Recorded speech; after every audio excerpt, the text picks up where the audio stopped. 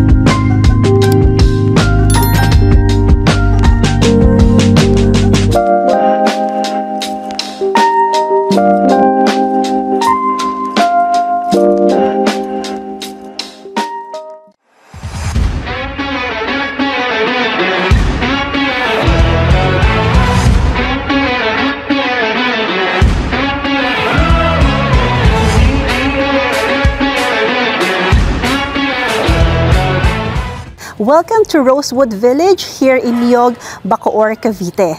Now, the house at my back, this is the actual unit that is for sale. It's called Redwood Model, but it's already been modified. So this house and lot, this complete finished house and lot, has a lot area of 112 square meters and a total floor area of 134 square meters. Now guys, that's the total already kasi modified na yung bahay. Pag sinabi nating modified and the total floor area, that includes yung carport natin because yung carport natin is already tiled, no? May, may tiles tayo. And then also, for the balcony, that forms part of the floor area kasi may tiles din yung ating balcony.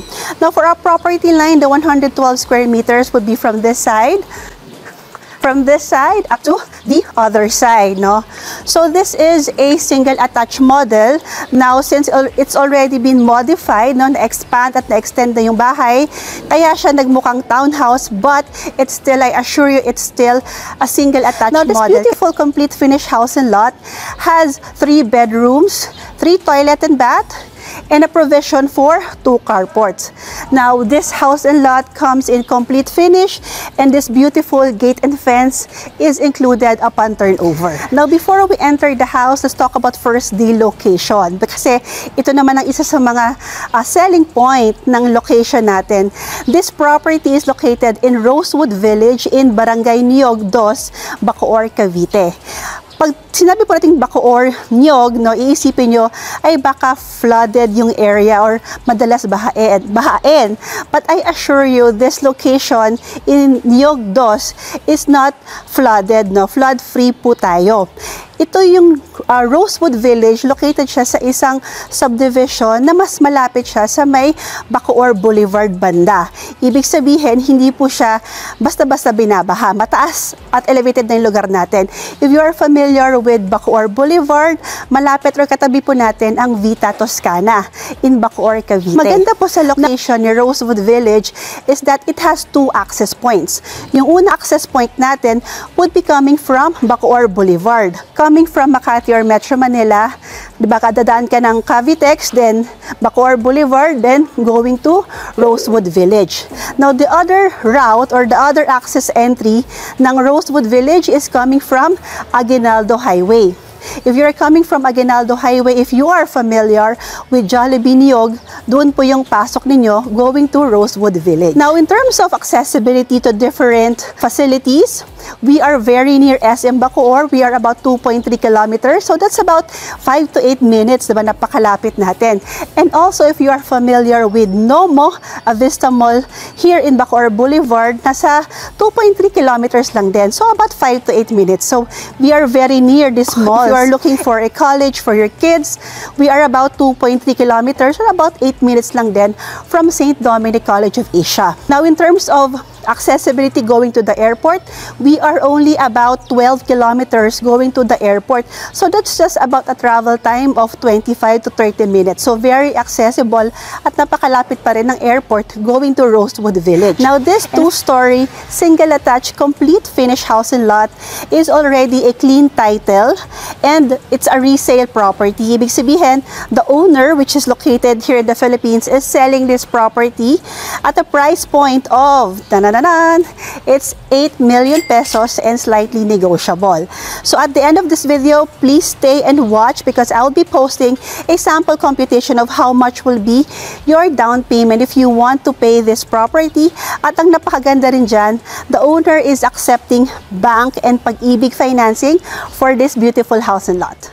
Welcome to Redwood Model here in Rosewood Village in Bacoor, Cavite. Again, our lot area is 112. So that's from here up to here. That's your property line. And you have a floor area of 134 square meters. So this beautiful complete finished house and lot has three bedrooms, three bathrooms, and a provision for two carport. Meron din siyang laundry and service area. So let's go and check out the inside. So you have here this beautiful painted gate and tiled yung ating fence. And you have this area for your garden and sementado yung iyong um, carport, no, yung pagpasok mo. So this is your service gate. Yan. Newly, re newly renovated ang bahay, guys. And it's really nice kasi everything is tiled. This is your full garage. Malawak yung garage natin ha. We measured it earlier. Yung width ng ating garage, that is 4.2. And from this point up to this point, you have 8.6. So, cash ang kasha ang two carport dito. And you still have this nice area for gardening, di ba? Ang ganda pa niyan. Or, kung gusto mong lagyan ng pool area, kasyang-kasya yan dyan. So, you have this open space over here na pwede mong gawing garden or pool. Yan, ipakita ko lang ulit yung house. So, it's fully painted, interior, exterior. Our roofing is concrete roof tiles. So, tigula po yan, no? Lifetime. Matibay po yan. And meron na rin tayong tubig at kuryente. Ang kuryente is Meralco and water is, I believe, centralized, no? yung water natin dito sa Rosewood Village. And you have this balcony over here. And pasukin natin yung house. You have here two doors. This is the service door leading to your kitchen. And this one is your main door. So let's go ahead check out first the main door. Our main door is wooden panel door with lock set. And once you enter, wow, come check that out. It's really, really nice. Ang ganda ng pagkaka-renovate ng house na to in, uh, in reality. Your flooring is 60 by 60 ceramic tiles. And you have a fully painted interior walls. Our windows are powder coated sliding windows. May kasama na siyang net oh, for the mosquitoes at sa mga insects para hindi makapasok. Okay. You have an accent wall over here that is made of PVC. Yan, PVC panel, ano siya, fluted, PVC fluted panels, that's the right word for that. And you have baseboard, And on the ceiling, it's very nice. Complete finish yung ating ceiling ha. Kasama na po ito. Even all the lightings are included when you buy this house. Don't forget to watch the, till, until the end because I will be posting yung mga payment schemes on how to avail this home in Bacoor, Cavite. So moving along, let me show you the living area. Yan, then ako pumasok. That's the living area. And you have a measurement of 3 by 3 meters. That's 3 meters and 3 meters hanggang dito yung living area mo. And right beside it is the dining area. So this is the recommended dining area. The same measurement sila. 3 by 3 meters yung ating dining area. All the outlets are included. So universal na yung outlet natin. Kasama yan. And even here in the living area, may mga outlets tayo. Kompleto tayo. Alright, let me show you first how the entire ground floor looks like. And let's go check out the kitchen. You actually have here an auxiliary kitchen. So, your dirty kitchen is over here, and you still have this area if you want to have a clean kitchen, yung pan, yung sa loob, or lagayan na ng mga cabinet, pwede itong lagayan. This is an all-purpose area, so kayo yung bahalang mag-decide what you want to have this area for. And here, over here, right beside this uh, area, you have this pantry. So ito pwede mo gawing storage ng mga grocery mo. Yan yung pantry area mo. May door po yan. Lalagyan to ng doorknob. Yan. So over here, beside your um, all-purpose area is the door that leads to your laundry and service area. So, dito mo pwedeng ilagay yung, yung washing machine and magsabit ng mga uh, laundry. Ayan. So, all our doors are panel door, no? Kahoy na siya. Kasi hindi naman siya nababasa, eh. May ano naman siya, may roofing, no? So, this is your circuit breaker. And over here, this is your kitchen. Yeah. Pwede mo siyang gawing dirty kitchen. Kasi kung maglalagay ka ng clean kitchen sa loob. May tiles na rin yung ating kitchen. And this is a granite. Granite countertop with stainless sink and gooseneck faucet. And all our cabinets are included. So we have an overhead cabinet and we have a base cabinet. Ayan. Excuse me. Yan. So all of these are brand new. Bagong-bagong kabit lahat po ng mga items dito sa house. And you have here a common toilet and bath. So complete finish din tayo. So lalagyan to ng shower guys. Hindi lang nilagay ng owner, pero kakabitan po yan. Yan, you have 60 by 60 ceramic tiles sa flooring. Aayusin pa ito. May mga sobrang mga semento. Then you have here your lavatory, your toilet bowl. Tapos may shower yan siya dito. You have your exhaust over here. So maganda kasi yung tiles ng toilet natin is floor to ceiling na. Okay? So our doors for the bathrooms are PVC doors. Yan. And let's go and check out this door. The other side, this is the one that leads to your garage. Yan. Itong area na to, pwede mo itong lagyan ng refrigerator. Pwede mo siyang lagyan ng double door na ref. Kasyang-kasya yan. Walang magiging problema. At malapad yung, yung walkway natin, no? In all fairness, malapad siya. Okay, let's go and check out the second floor. So, this is your stairs.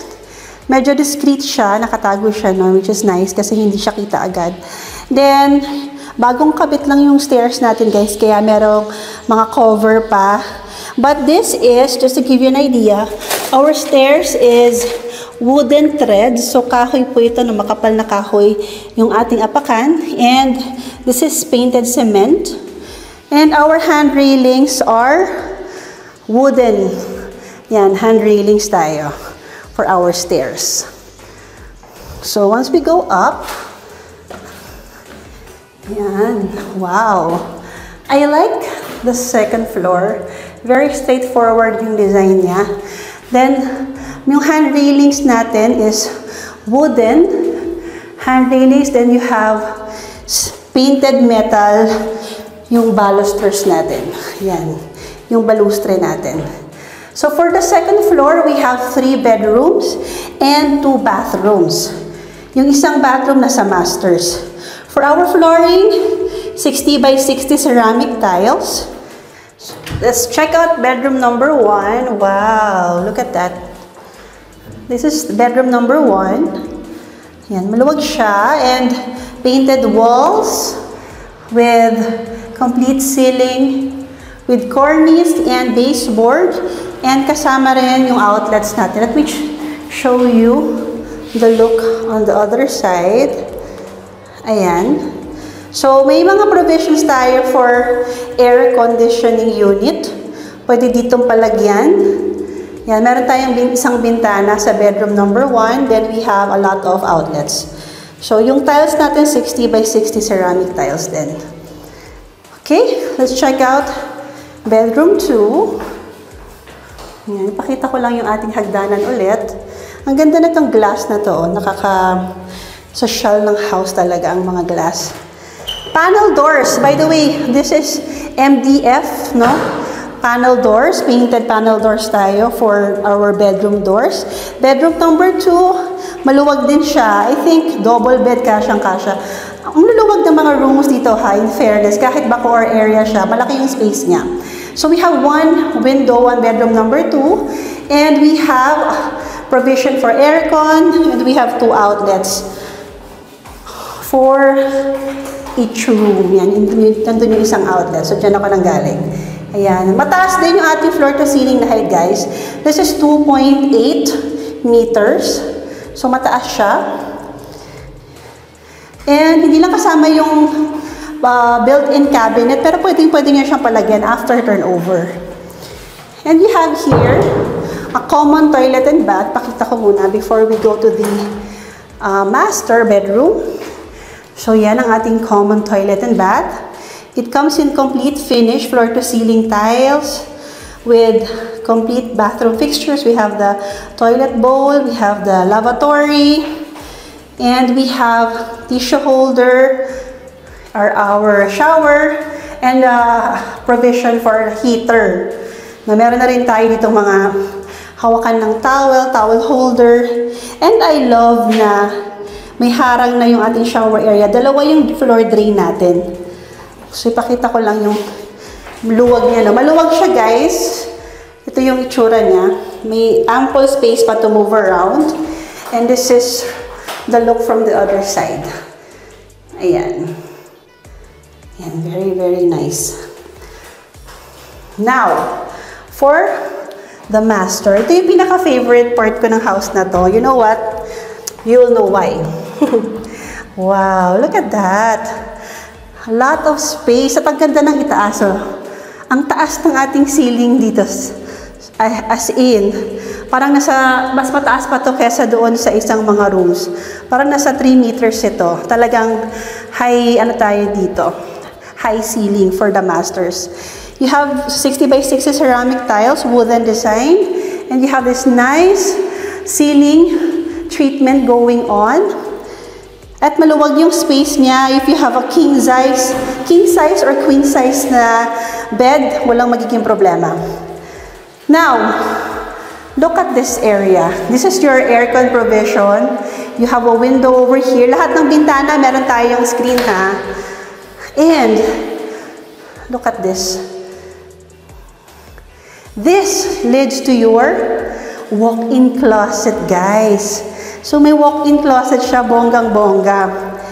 This goes to your balcony and this is your walk-in closet. So ito yung sinasabi ko na sobrang gusto-gusto ko kasi pwede mo itong lagyan ng salamin and you have your wardrobe over here and pwede ka rin maglagay dito ng dress, dresser, di ba? Yan, let me show you our built-in cabinets. This is included sa turnover, yung ating built-in cabinet. Yan. So, ang laki niya. Malalaki yung ating mga cabinets. Okay, the other one. Let me show it to you. Yan. Diba? It's very nice. And you have your own toilet and bath in the master bedroom. Malaki din siya. So, it comes in complete So you have here your shower, you have your toilet bowl and your lavatory, plus may kasama pa siyang other accessories. You have your tissue holder and dalawa yung ating floor drain. It's so nice. At ang luwag niya na, look at the space over here. Let me show you the look from the other side.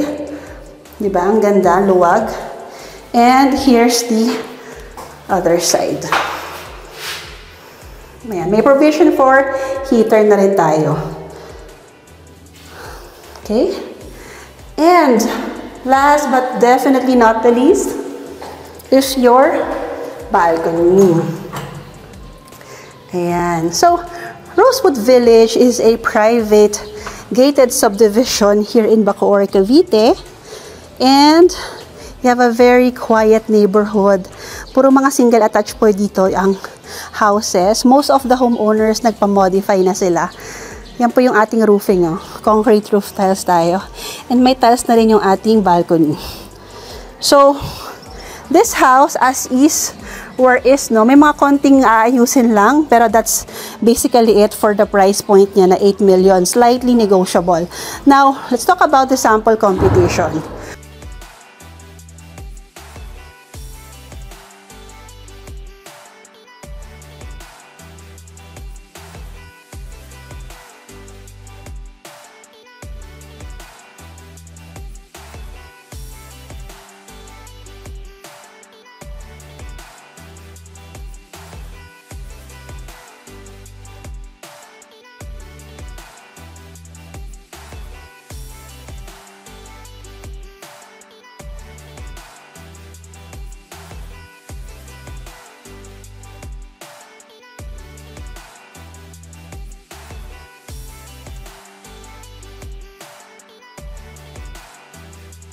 Thank you for watching my house tour for Redwood model here in Rosewood Village in Bacoor, Cavite.